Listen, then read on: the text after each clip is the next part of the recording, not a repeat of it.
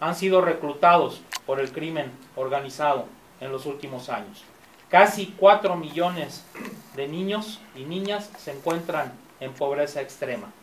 Además, para pagar favores al gobierno norteamericano, el gobierno de, de, Morena se ha encargado de perseguir a los migrantes sin importar que también hay niños dentro de ellos. Diariamente son detenidos más de 162 niños sin haber protocolos para su protección. 2019 se convirtió en el año más violento en la historia de este país y de acuerdo al Sistema Nacional de Seguridad Pública también lo fue el año más violento para nuestra niñez. 27.617 personas menores de edad fueron víctimas de la violencia, de lesiones, de delitos contra su libertad y de homicidios.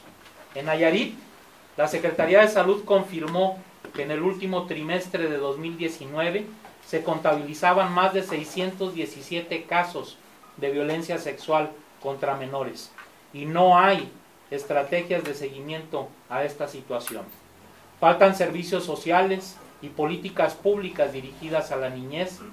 Urge un plan de prevención y atención a la violencia armada en contra de niñas y adolescentes en el país y en el Estado. Somos testigos de que la violencia de género no ha sido un tema que le importe al gobierno de Morena.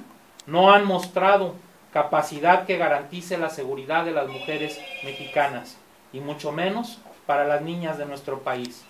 En 2019, los feminicidios aumentaron en casi un 14% en menores de edad, registrándose más de 59 asesinatos por mes en contra de niñas y adolescentes, lo que refleja el abandono y la falta de políticas públicas dirigidas a salvaguardar a la niñez mexicana.